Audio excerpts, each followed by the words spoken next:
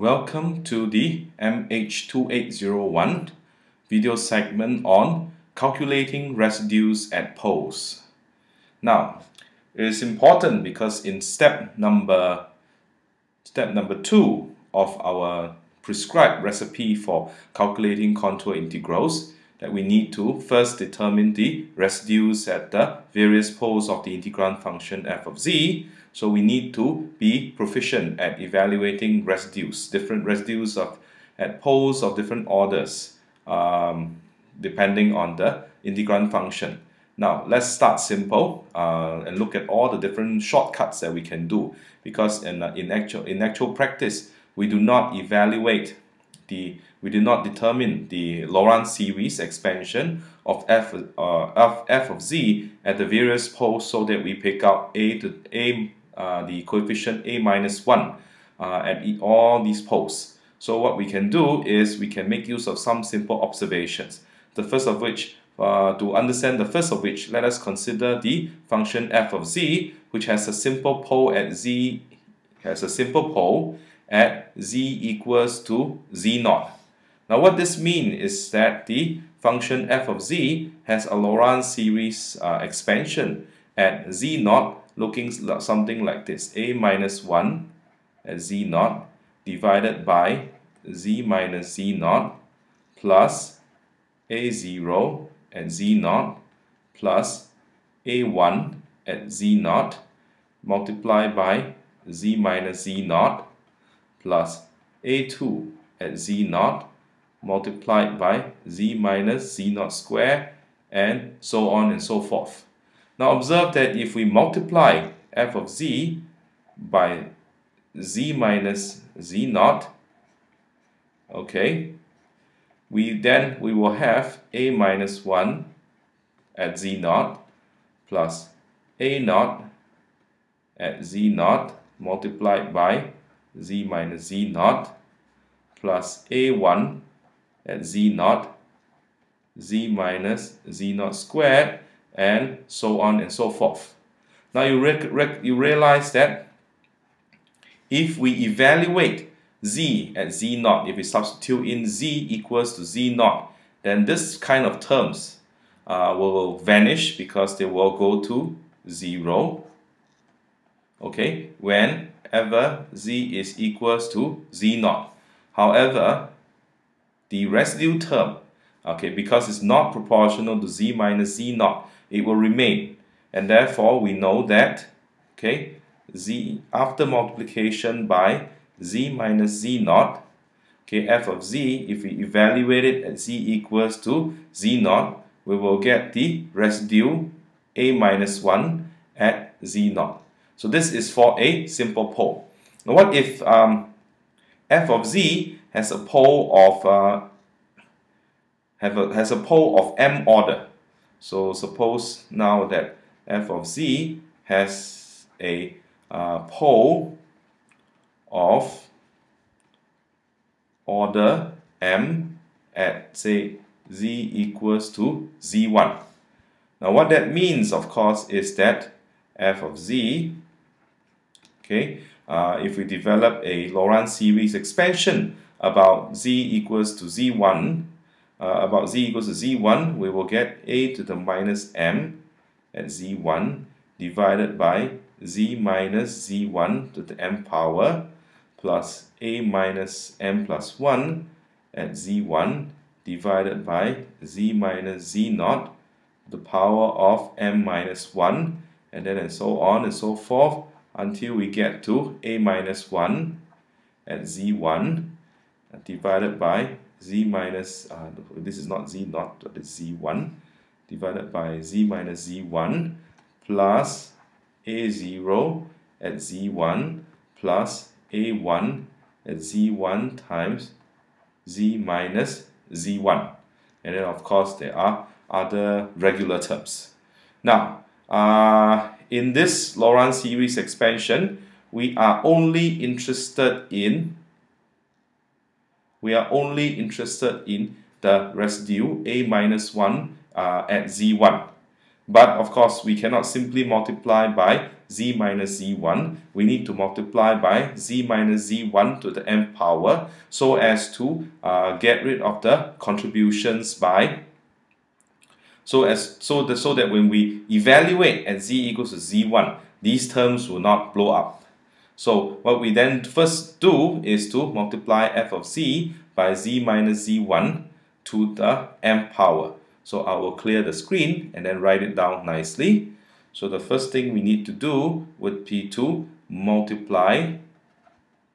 okay, f of z by z minus z1 to the m power and this we will find that it is a minus 1, a minus m okay, at z1 plus a minus m plus 1 at z1 times z minus z1 uh, plus dot dot dot plus a minus m uh, not a minus m sorry but a minus 1 so let me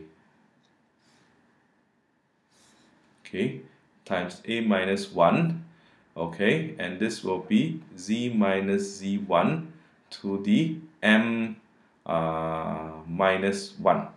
okay because they, they used to be a oh, what divided a minus 1 used to be divided by z minus z1 z minus z1 so if you multiply by z minus z1 to the nth power we get z minus z1 to the m minus 1 power. And of course this is evaluated at z1 and then of course we have a0 evaluated at z1 of z minus z1 to the m power plus a1 evaluated at z1 uh, z minus z1 to the m plus 1 power and so on and so forth. Now, we don't want to evaluate at z equals to z1 now. So we do not evaluate now. So do not evaluate at z equals to z1 yet because if we do that then uh, a to the minus 1 will be multiplied by uh, 0 and that will disappear and we therefore would not be able to find what uh, a to the minus 1 at uh, z1 is. That's the residue that we're interested in. But we, note, we notice that if we differentiate now, first, if we differentiate once with respect to uh, z, so if we differentiate d over dz, of uh, z minus z1, the m, okay, fz, then we will, what do we get? Uh, this is a constant term, so if differentiate once, this will disappear. And then this will left be left behind, so that a minus 1 plus 1 at z1 plus, okay, here we will have m minus 1, okay, a to the minus 1 at z1 and then we will be left with z minus z1 m minus 2 and then plus a naught z1 okay there's an m here and then z minus z1 m minus 1 plus so on and so forth. Okay so we see that if if we now uh, evaluate at z equals z1 we will be able to get rid of everything except for a minus 1 plus 1 uh, which is one order smaller than a to the minus 1. Uh, but of course, that is still not what we want because what we want is the residue a minus 1 evaluated at z1. Uh, but this is accompanied by z minus z1 to the m minus 2 power. So what we can then do is we can then repeat this procedure until we have differentiated how many times? Because in this expression, after multiplication by z minus z1, to the m power. Okay, the the the, the power of uh, the power of z minus z1 in the term that is proportional to a minus 1 is actually m minus 1. So we need to differentiate m minus 1 times. So differentiate it m minus 1 times, okay, of z minus z1 to the m power fz. Then what we will get is, okay, we will get, of course, m minus 1 m minus 2 dot dot dot until we get down 1 uh, and then we will have our a minus 1 evaluated at z1 then for uh, for a0 it will of course start with m then m minus 1 then dot dot dot until we get to 2 and then a0 evaluated at z1 z minus z1 then plus dot dot dot okay so now at this point if we if we evaluate uh, z evaluate the expression at z equals to z1 then every term will vanish except for the uh, residue term. Uh, and the residue term is actually proportional to m minus 1 factorial, okay, a minus 1 z1 plus uh, dot dot dot which will become 0. So let me write that down explicitly. So all these terms will become 0 and then you're left with only a minus 1 uh, z1 uh, if you evaluate it at uh, uh, z equals to z1. So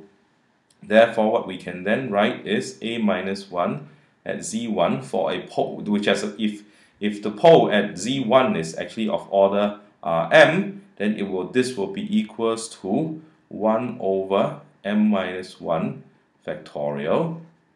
dm minus 1 over dzm minus 1 z minus z1m, then fz, and then everything evaluated at z equals to z1. So this will be the expression for the residue for a pole of order m at z1.